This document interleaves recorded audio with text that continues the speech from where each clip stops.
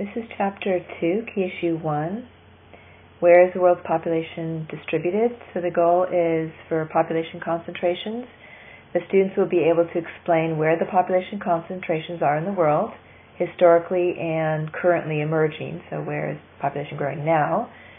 Students will also be able to explain the global population growth trend since prehistory and explain when population global population began to grow exponentially. A sparsely populated regions section, learning goal would be that students will be able to describe what types of places people avoid and choose to live in. And the third section, population density, the learning goal would be that students would be able to define the three types of density and explain how, by comparing the different types, one can gain an understanding of the carrying capacity of the land. Concepts to know are demography, the J curve, the location and characteristics of population clusters, sparsely populated areas, ecumene, arithmetic, physiological, and agricultural densities, and arable. Well, the world population growth since around 1 AD or 0 has grown very, very slowly until about the last 100 years when you can see it curve up drastically and start growing exponentially. This graph of world population growth is called the J curve because as it grows very, very slowly and then the last 100 years has been rapid growth and we have reached 7 billion at this point. What's significant is that most of the world population growth is been happening in LDCs, where 80% of people live. That's the fastest growing. China and India each have over a billion people, which makes up one third of the entire world's population. And with the fall in crude death rates, people are living longer, and so we see population growing very rapidly. And this um, drop in death rate will definitely impact population growth. So when you look at this chart over here, you see the blue part of the graph represents the industrialized countries or MDCs, and the orange or gold part of the graph represents economically developing countries or LDCs. And you can see around 1950, you see that the population growth explodes, especially with LDCs. Now, demography is the scientific study of human population characteristics, and the reason why we study population is for these three reasons. More people are alive now than any other time before. Since the mid 1900s, we've seen a rapid increase of population growth, faster than any time before. But most significantly, that the population growth is virtually only in the LDCs, and that is a concern as LDCs do not have the resources and the means to be able to deal with population growth. Um, and so this is going to become not just a, an LDC problem, but a global problem.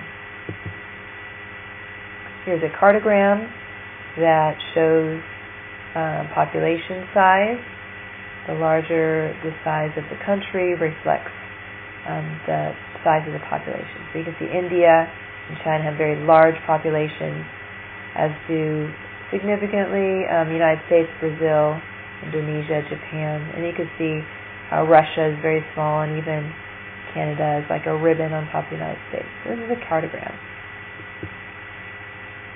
Right, into the content, population clusters. They're are four regions that most of the world lives in currently. And that is East Asia, which is largely made up of China, but includes Japan too, and the Koreas and Mongolia. But China is the most populous. populous.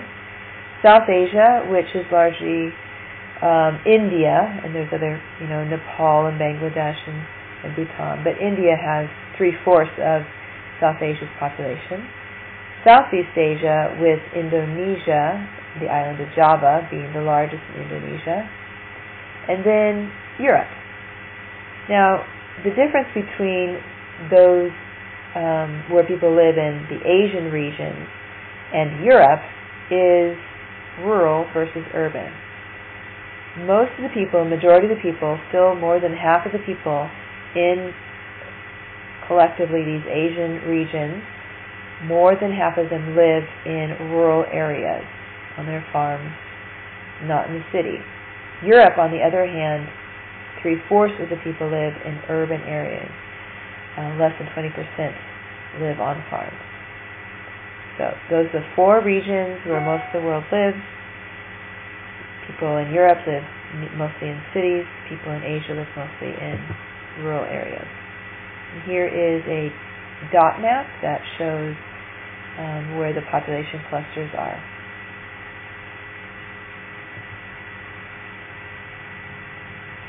Sparsely populated regions. First of all, Ecumene is the permanent human settlement um, across the earth. Um, people live on about 5% of the Earth's surface. Um, about 70 to 75% is water. Then we have about 30 to 25 to 30% is land. A lot of that land um, is too dry. People avoid living where it's too dry. About 20% of the Earth's surface. They don't like to live where it's too wet. The rain actually um, depletes the soil's nutrients as it acts like a sieve and drains the nutrients away from the, the, all the water. People don't like to live where it's too cold. Those are usually near the poles in the high latitude climates. And people don't like to live where it's too high in elevation, which tends to be a little bit cooler. The exception is that people in Latin America, which would be Mexico through South America to the South America, and in Africa, like to live in the highlands, especially along these tropical areas, because they can escape the heat and humidity um, of the tropical climate. All right, different densities. Arithmetic density is the total number of people divided by the total land area. And here's a map that shows, uh, here's a choropleth map of the Goode's Homolosine map projection, which is an equal area map, also shaped fairly accurate. And this shows where you have high arithmetic density. And you can see in India, Japan, Philippines, um, England, looks like Belgium and, and the Netherlands, Israel. Right. All right, then physiological density is number of people but now we've taken away the land that's not very livable, and it's number of people per arable land, which is the land that's suitable for living. So this is going to be usually a higher number than arithmetic density because you've subtracted the deserts or the mountains or the lakes or the marshes. People don't typically live in these areas. So you now have less of an area with the same amount of people. So it's usually going to be a higher number. And here's a choropleth map showing the physiological density. You can see now things have changed. You see Egypt has become much more dense because typically people just live along the Nile River in Egypt, not in the desert. There's a lot of land that is not livable, not suitable for living in Egypt. When we look at the we defining carrying capacity, carrying capacity is the land's ability to support life, and something that has a land that has high carrying capacity would be very fertile land, very flat, um, lush with vegetation and water, and lots of people can live on that land. You can think about Mother earth, Mother Nature providing for population in a very rich and beautiful environment. So that kind of environment would have high carrying capacity. It can support a lot of life.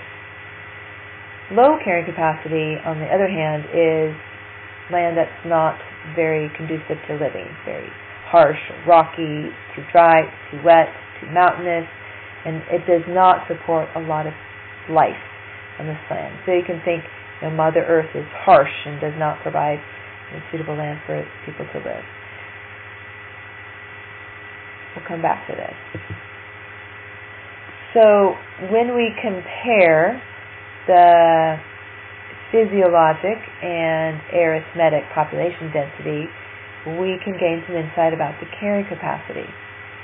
So if the physiological population density is high, such as what we saw in Egypt, it has a much darker color, um, then the arithmetic population is low, the overall number of people per, per land area. If the physiological is much higher than the arithmetic, then we know that a lot of the land was not suitable for living. You had to subtract the areas that were too cold or too uh, rocky or too harsh or too dry to people to land, to people to live. So, in this situation where you've got the population, the overall population now living on a smaller area of land than the entire country, with a high physiological population density. So there's a lot of pressure put on that land where people live to produce the food and the supplies needed for that population. So this is when the carrying capacity of the land is kind of being stressed out a bit to provide for the population um, living in that area. The last density is agricultural density. This is the number of farmers per farmland. If the agricultural density is low, such as you see in this red box with one farmer for all this farmland, this would be something that's typical of like the United States there are very large farms in places in MDCs like the United States due to advanced technology. So usually there's very few farmers for the farmland because they have very huge farms.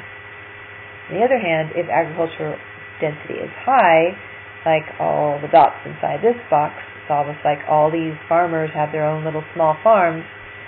This is typical of LDCs, where there are many farmers and for the farmland they have, and so you have small farms for these farmers.